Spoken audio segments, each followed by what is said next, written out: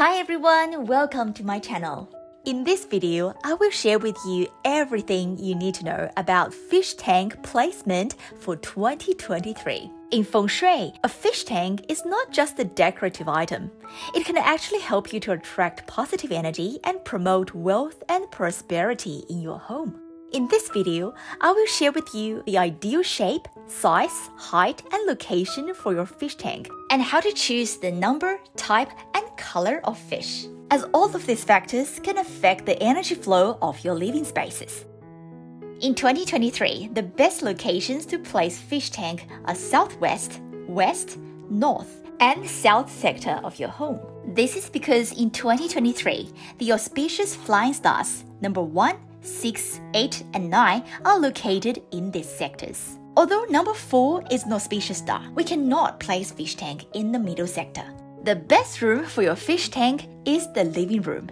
The living room is an optimal location for the fish tank as it's typically bright and spacious, creating a pleasant atmosphere for both the fish and the family. But make sure the fish tank is away from electrical appliances such as TV or speakers, direct sunlight exposure, or unstable surfaces such as shaky shelves. You can also place the fish tank in your home office or study. As we're working from home more often nowadays, the feng shui of our home offices can have a significant impact on our career luck. If your home office is located in an auspicious sector, you can place the fish tank in the southwest corner of your home office, as this location can help you enhancing your career prospects. The front door foyer or the entryway is also a very good location for your fish tank. But remember, the fish tank should not be immediately visible from the front door, as this can lead to financial losses. It's recommended to place the fish tank in a corner that's not directly facing the front entrance. Where not to place fish tank. We should never place fish tank in the bedroom, kitchen, or bathroom, as this can lead to serious health issues. We should also avoid placing the fish tank behind a couch. From a feng shui perspective, it's not recommended to place water features at the back because water is considered unpredictable and cannot provide stability. Having a fish tank placed behind a couch where family members often gather can affect the stability of the household's energy. In addition, do not place the fish tank on the ground.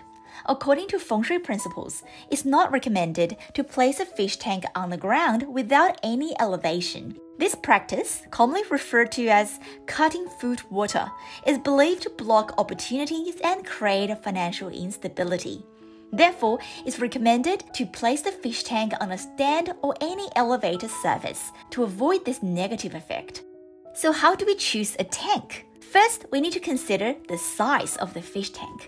In feng shui, we should always avoid oversized fish tanks, especially if your home is quite small. While water is essential, too much water is not recommended. If the fish tank is above your eye level while standing, it's also considered too high. Therefore, the fish tank should not be too big, as this can create pressure and bring negative impacts on your mental health. The shape of the fish tank is also important. It's best to choose a circular, oval, or rectangular shaped fish tank, as it's considered auspicious for wealth. Fish tanks with sharp corners, especially those in the shape of a triangle, are not recommended as they can attract disputes and conflicts. Now let's talk about the type of fish. To create positive energy and invite good fortune into your living space, we need to choose fish that are considered auspicious in feng shui, including koi fish, goldfish, or guppy fish. And avoid placing aggressive fish such as piranhas or fighting fish in your tank. Their presence can introduce negative energy into your environment. By selecting the right kind of fish, you can create a harmonious energy flow in your home that promotes health, prosperity, and overall well being. In feng shui, the colors of fish are believed to hold symbolic significance. For example, goldfish, traditionally associated with the color gold and are believed to attract wealth and abundance. Similarly, red colored fish are considered auspicious in feng shui as they represent vitality, good fortune, and happiness. White colored fish are believed to symbolize purity and tranquility. It's associated with the metal element, which enhances the water energy, promoting a harmonious and auspicious living space.